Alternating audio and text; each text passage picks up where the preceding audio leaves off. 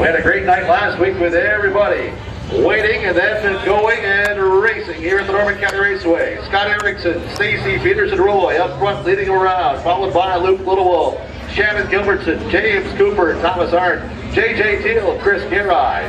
Up the Updall end of Tommy Hamadok. That's your lineup for the four cylinders to get things started tonight. 71 car field at the Norman County Raceway.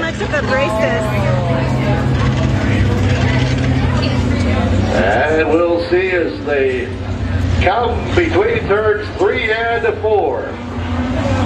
We'll see if they pick up the pace. As we look out for the Portal Building Center flag set, waving the green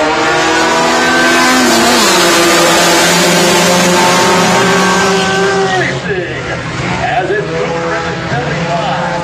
James Cooper on the penalty in the 75, and there goes up the updog. Now getting going at the tail end. Steve Down Cooper Between the corners of turn three and four. Lifting up to the high side of Olsen in line.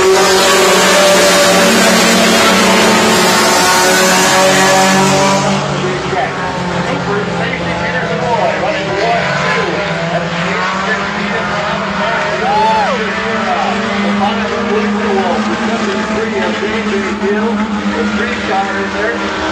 Of the Tommy Howard.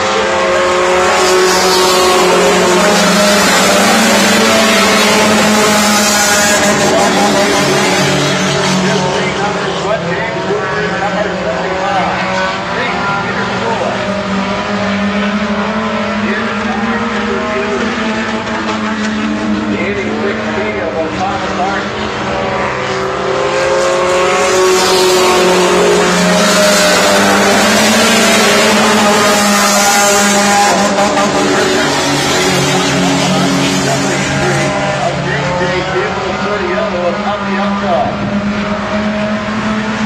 the 15 next to Scott Erickson. There's the last. Still is